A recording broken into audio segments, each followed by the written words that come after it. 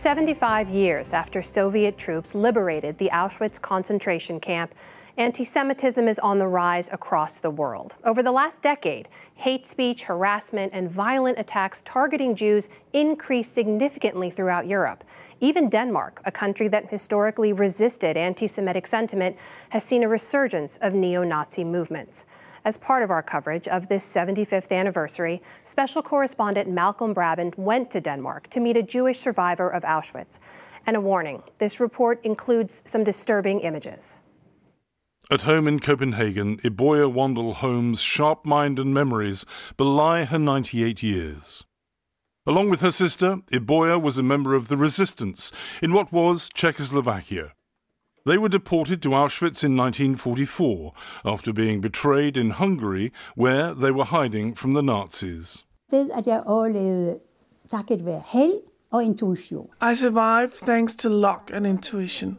There was something in me telling me when to take a step forward and when to take a step backwards. You had to do whatever it took to survive.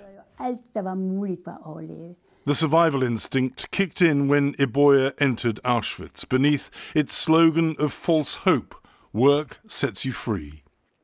Among the welcoming party was Dr. Josef Mengele in the centre, nicknamed the Angel of Death for his live experiments on prisoners.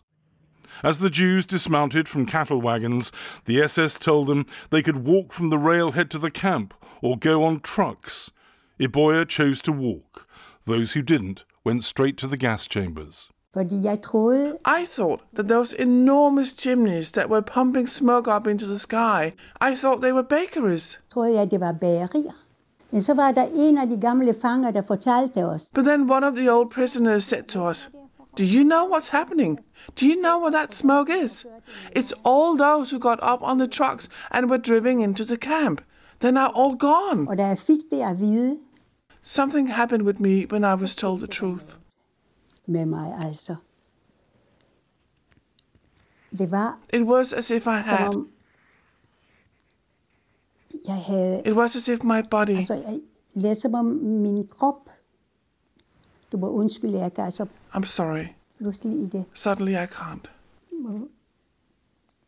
Iboya is on the left, next to her sister Lily. Both survived Auschwitz, perhaps because they could withstand the Nazi slave labor. As the Soviet army liberated Auschwitz, Iboya and her sister were still in peril. They and thousands of other prisoners were ordered to march as the Nazis tried to cover up their crimes against humanity. The sisters survived the death march and eventually escaped. Iboya attributes their deliverance to boots she exchanged with a guard for a ring she found while digging up cabbages. I had typhoid just before the march started, but because I had those boots that warmed my feet, I could walk and walk and walk. But those of us who could not walk were shot. The corpses were lined up along the roads, yes, everywhere. Some of them were still alive. They held up their hands to us. We couldn't help them. We just had to walk on. 75 years on, anti Semitism is virulent. A recent major study by the Anti Defamation League concluded that one in four Europeans held negative views about Jewish people. Attitudes appear to be holding relatively steady in Western Europe, but there's been a rise in bigotry in Eastern and Central Europe, especially in Russia and Ukraine. However, the biggest surge within the European Union is in Poland, where Auschwitz is located. Denmark is proud that during the Nazi occupation, 90% of its 8,000 strong Jewish population was smuggled to safety in neutral Sweden. But anti Semitism appears to be intensifying, even in this traditionally tolerant nation. Last November, a Jewish cemetery in western Denmark was vandalized on the anniversary of Kristallnacht, the night in 1938 when Nazis smashed over 250 synagogues, wrecked 7,000 Jewish businesses, and 30,000 Jewish men were transported to concentration camps.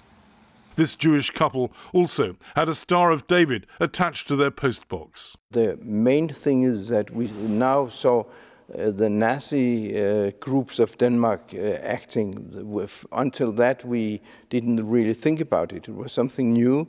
Henri Goldstein admits the Jewish community that he leads was caught by surprise because it regarded radical Islamists as the main threat. So it's alarming that there's a new front coming from the right, which we didn't expect to be living really.